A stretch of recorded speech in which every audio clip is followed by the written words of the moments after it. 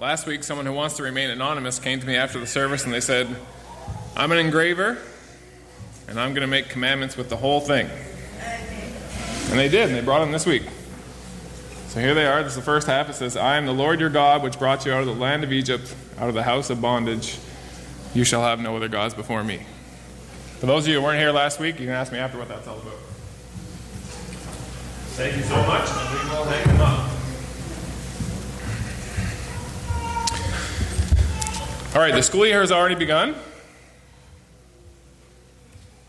But I wanted to do something a little bit special for our teachers. So here we go. So education has a purpose. And if I had we had the time, I would get you to give me some answers on what you think the purpose is, but we don't have time, so we're going to go ahead.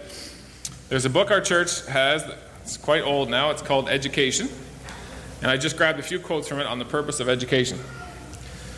To restore in man the image of his maker, to bring him back to the perfection in which he was created, to promote the development of body, mind, and soul, that the, that the divine purpose in his creation might be realized.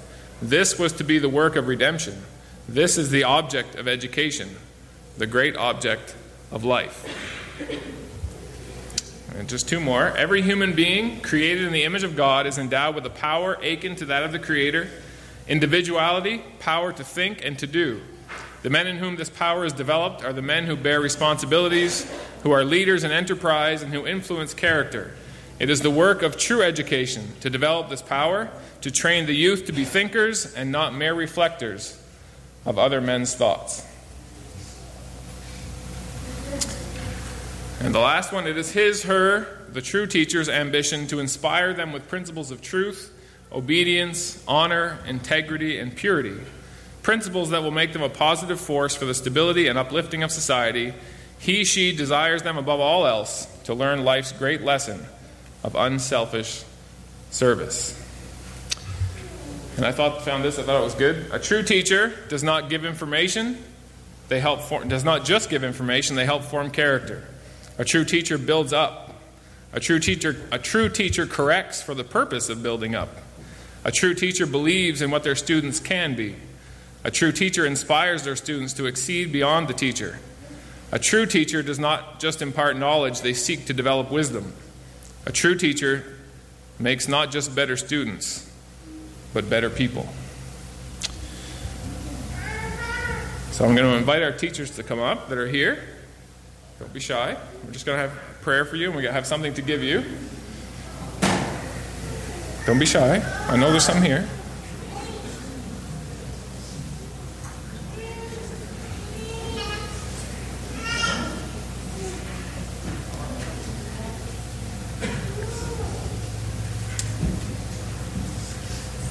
And Trudy and Rourke, if you could join us as well. Just come on up. Come on up.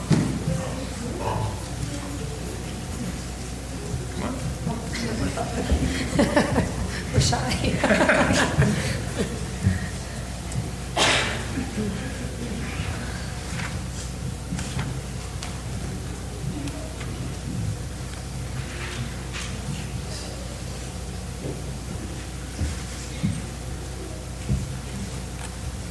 All right, so if you could bow your heads with me, we're going to pray for our teachers.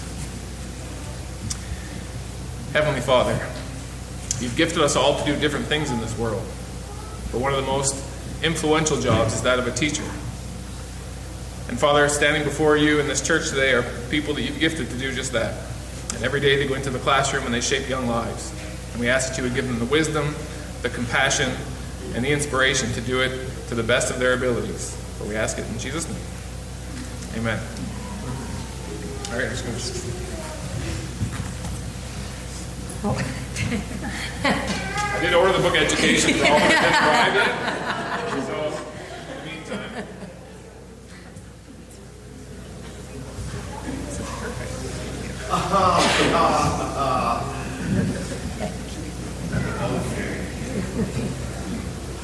All right, you may be seated. If you want the book Education, it is on its way.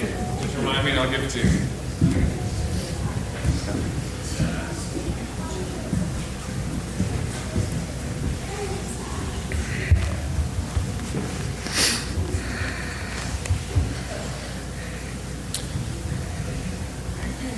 By the way, an interesting fact one of the recognized around the world as the best education on the most education system on the most consistent basis is the country of Finland. And if you know the backstory of their education system, it's built on the principles in the book Education. Fascinating story, and other countries are now trying to mimic their system. And we've had the book and the information all along. All right. So today's lecture, I'll be your teacher, you be the students, is on obedience.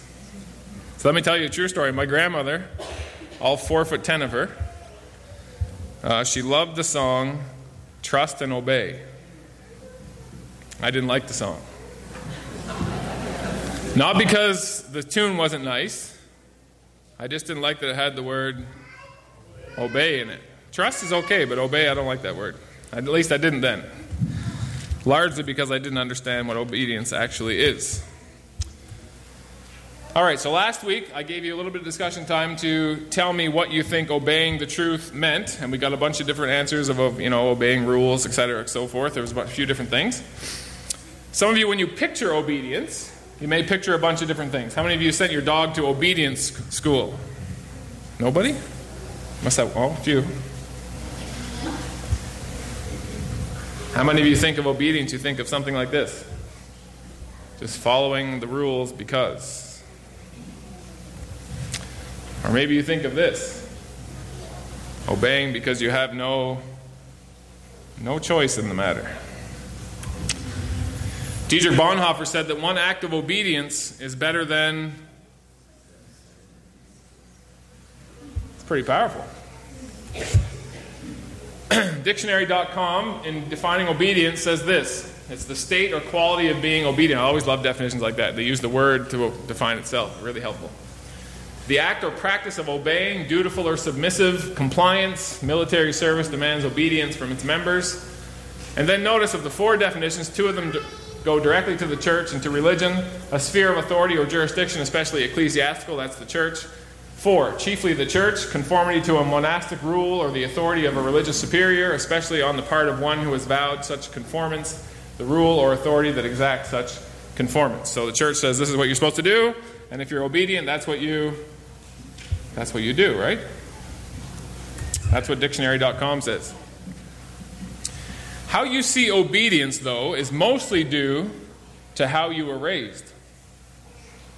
If you see obedience as positive or negative, or how you, which one of those pictures you related to, it all has to do with your upbringing, your parents, grandparents, your teachers at school, etc., and so forth. But check this out how you see God is mostly due to how you were raised. Do you think we all have the same view of God on planet Earth? But how many gods is there? There's one. So just because we see him different doesn't make him different, doesn't? Doesn't he's not schizophrenic, he's not doesn't have dual personalities or multiple personalities, he's one God, he's one way, but we see him differently because of what people have said to us about him, demonstrated to us about him, etc., etc. Some of you when you think of obedience, you might think of the list of of 10, right? Some of when you think of obedience, you may think that there's a longer list. How many of you know how many rules the Jews had during Jesus? When Jesus was here on this earth, walking and talking as a young Jewish man, how many rules the Jewish church had about how to keep this day of the week? Oh. 613. Something like that. There's well over 600. Here's a smattering of them. This is from a Jewish website, so I'm not picking on them. This is just this is what they have out there for their own, for everyone to read. Let's start with some basic activities from which we refrain on Shabbat: writing, erasing, and tearing, business transactions, driving or riding in cars or other vehicles, shopping, using the telephone, turning on or off anything which uses electricity, including lights, radios, television, computer, air conditioners, alarm clocks Cooking, baking, kindling a fire, gardening, grass mowing, doing laundry, and that's just the first of 613. That's a lot of oh, oh, obedience. But is it obedience to God? You'll find when you read Matthew, Mark, Luke, and John, the, tell the story of Jesus' life, that he almost all of his miracles he performed were performed on, on Sabbath. which really chafed at the religious leaders because you weren't supposed to do that. And then to make matters worse, he would tell crippled people that he healed to pick up their, their mat, walk through town, and go home. He purposely chafed against the rules of the church. That was Jesus. Now, our text for today sounds very religious, and maybe you don't understand all the words, and that's okay. I'm going to boil it down for you as quickly and simply as I can. Galatia was a city. Paul had gone there. He had introduced Jesus to them. They became believers. And then other people came in after Paul and said, well, it's not just Jesus, it's Jesus and a bunch of rules. So Paul found out what happened and he wrote back to them. And at the end of his letter, after going through a whole bunch of reasonings with them, he said this. Says, I want you to stand fast, stand firm, remain in the in the liberty. What's that mean? Freedom. Stand fast in the liberty or freedom by which Christ has made us free, and do not be entangled again with a, a yoke of bondage.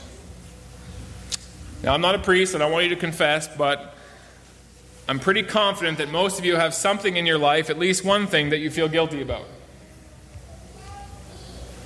If you actually understand what Jesus did for you, is doing for you, and plans to do for you, you have no reason to carry that guilt anymore. You are free. And sadly, what religion has done is not remove the burden, which is what Jesus talked about. He said, Take my yoke upon you because it's easy and it's light. Religion actually adds to your burden, it tends to.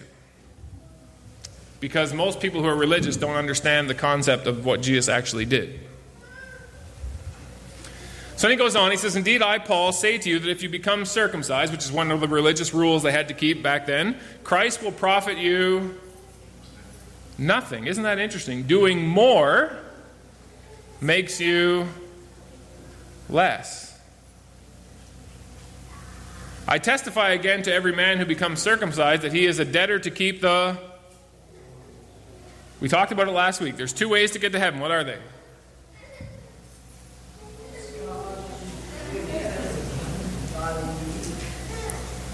So what's what? Say it again.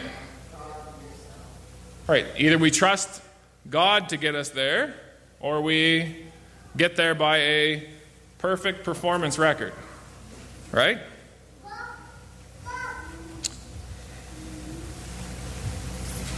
This last school I was at, they had an incentive. They gave out awards at the end of the year for anyone who had perfect attendance.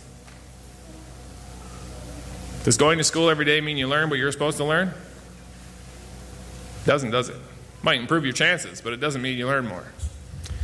But as humans, we love the idea of having a certificate that says we did something. But Paul says if you want to get to heaven by a certificate of what you've done, then you, have to, you can't just do one thing or two things or a few things. You have to do everything perfectly from the beginning to the end.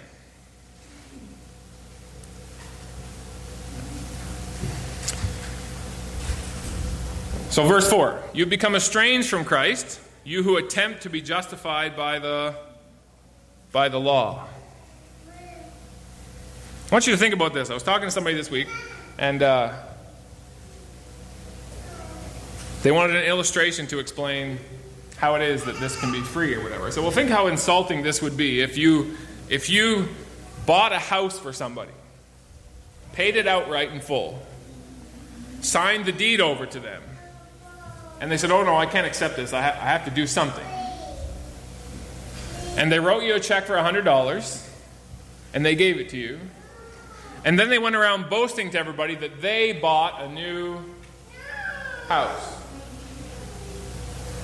What would you think about that?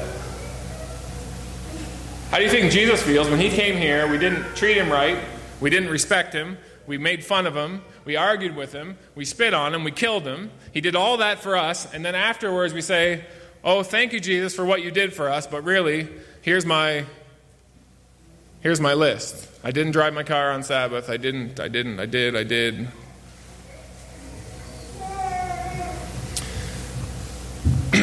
Verse 4 You have become estranged from Christ, you who attempt to be justified by law, you have fallen from grace. So if you choose to do some of it yourself, you've taken Jesus out of the out of the picture.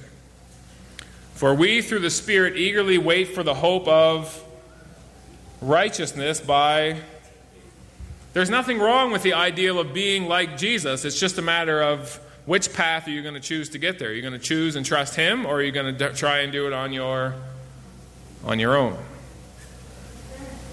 Now notice how he concludes his argument. For in Christ Jesus, neither circumcision nor uncircumcision avails anything but faith working through love. See, here's what human nature does. Oh, I get it now. I don't have to keep the rules. So now I'm saved by because I'm so smart that I know I don't need to keep the rules. Now I can show Jesus, see Jesus, I got it. I, am not a rule keeper. So now because I'm not a rule keeper I'm so smart and I figured it all out, I've earned my way to heaven that way. Paul says, keeping the rules or not keeping the rules avails nothing. Because it's not about us. I shouldn't tell you this because you might ask me to play, and I'm really not very good. But I actually went through six grades of Royal Conservatory piano and passed. I got 98% in theory and 69% in playing, and that pretty well tells you the whole story.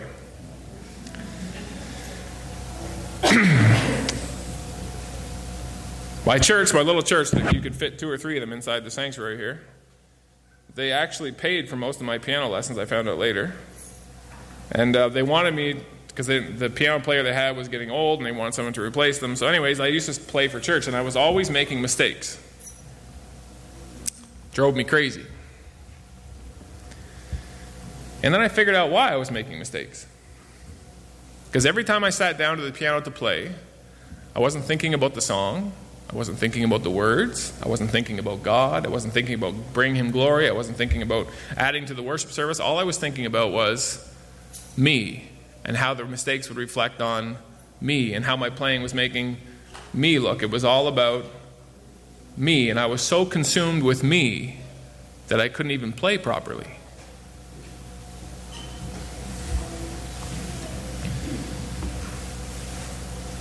I'm going to tell you a couple quick stories real stories, and then I'm done.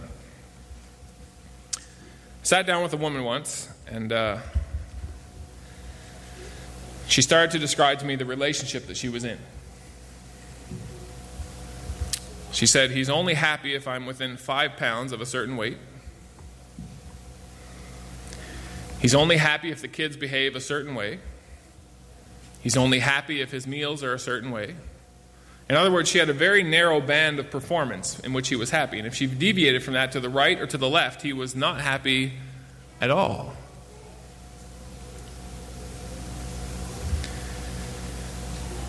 And it's that mindset. If we allow that mindset to be projected onto God and think that He has created this list of things that we're supposed to do, and if we deviate to the right or to the left, He's not happy. Love cannot exist in that environment. Trust cannot exist in that environment. Happiness cannot exist in that environment. It just can't.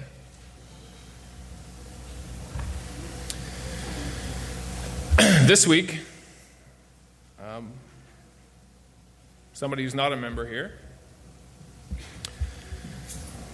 told me of some family dynamics. And um, Anyway, there's a boy in the, in the family who struggles to behave as he should all the time. And the father only communicates with the son when he does something wrong, and always in a negative manner. And the boy came to his mother and he said, Mom, I feel like when he's around, I'm always doing something wrong, even if I'm not doing anything wrong.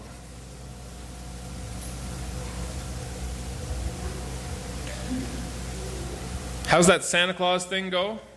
Making a list, checking it twice, gonna find out who's naughty and nice. And if the people who are supposed to love you feel like they're running around you with a checklist to see how you're performing all the time. That is not conducive to a loving relationship.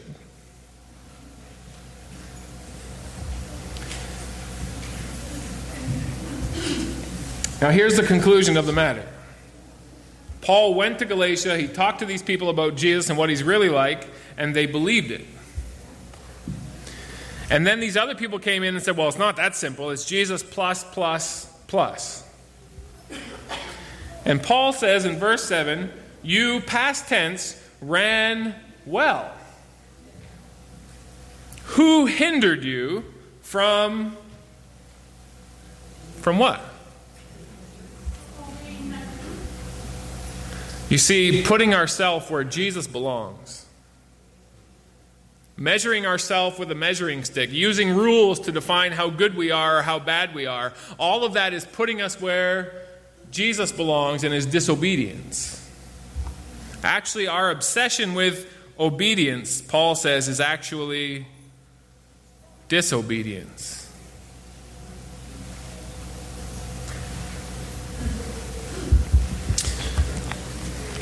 I'm going to ask you to open your Bibles because I want you to see this in your hands, touch it, feel it.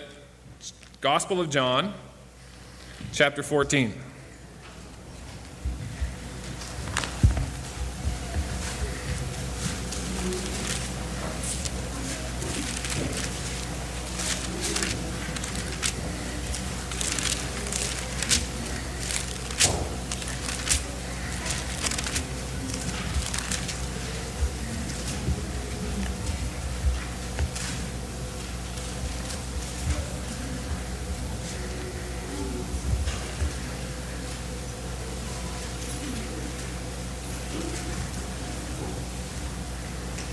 Still hear some pages turning. Gospel of John, chapter 14, verse 15. I remember hearing this verse a lot growing up. And then I went to CUC and I learned Greek. Well, enough Greek to get in trouble. The verse says, If you love me, what's the rest say? What does that sound like? If you love me, keep my. If you love me, prove it. That's what it sounds like, right? Show me. But you know what the Greek actually says? And the more I study, the more I realize the Bible was translated by Puritans who had a certain mindset rather than actually translating what the Greek and Hebrew said. The Greek, and he, the Greek says, If you love me, you will keep my commandments. One leads to the to the other. We try and get to God through his commandments. God says, No, no, no. Come to me. And the rest will will follow. That's the truth and anything else is disobeying the truth. All right, our last song is Amazing Grace, My Chains Are Gone.